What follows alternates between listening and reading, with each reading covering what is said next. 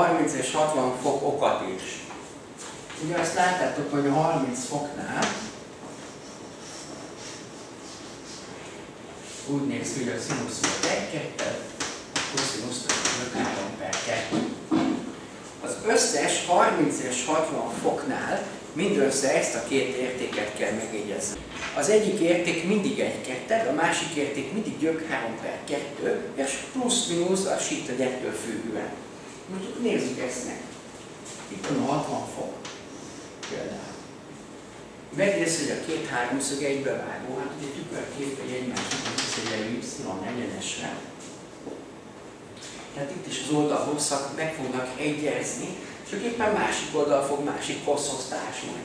Itt láthatod, hogy ez a, az x tengelyel párhuzamos összetevő a rövidebb, az első koordinátát lesz egy ketted, és a második koordinátát 3 per 2. Nagyon könnyen meg lehet ezeket így jegyezni, az a lényeg, hogy összes háromszög egybevágó egymással. Oké, okay? tehát ő 30 fok, ő meg a 60 fok. 95 meg itt Nézzük meg a 120 fokot. Itt mi történik? Ő a 120 fok. De ez ugyanez a háromszög. Legalábbis egybevágó háromszöggel, tehát oldalak megegyeznek. Valamelyik oldala egy ketted, valamelyik oldala pedig gyök 3 per 2. Hát nézd meg, hogy melyik a kisebb, melyik a nagyobb.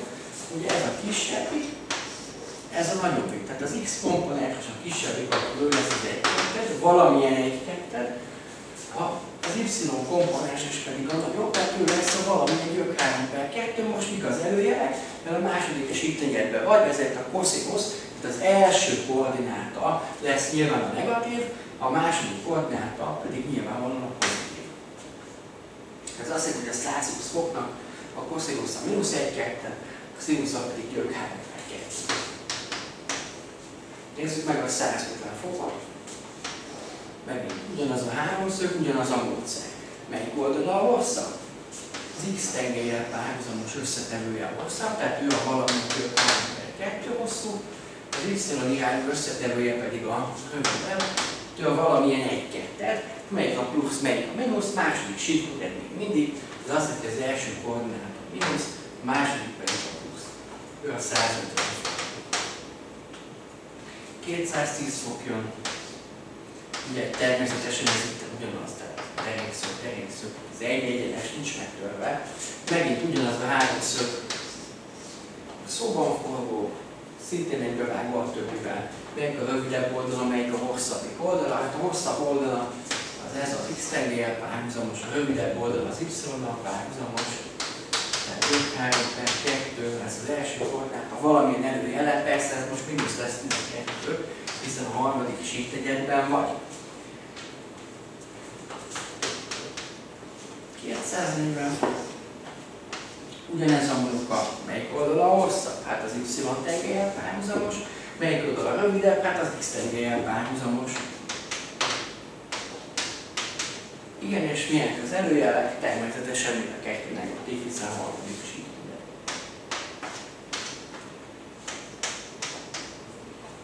270-et néztük.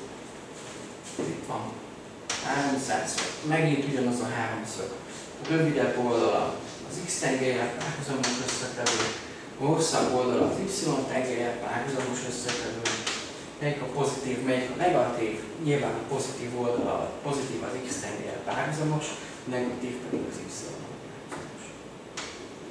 Ő a mínusz.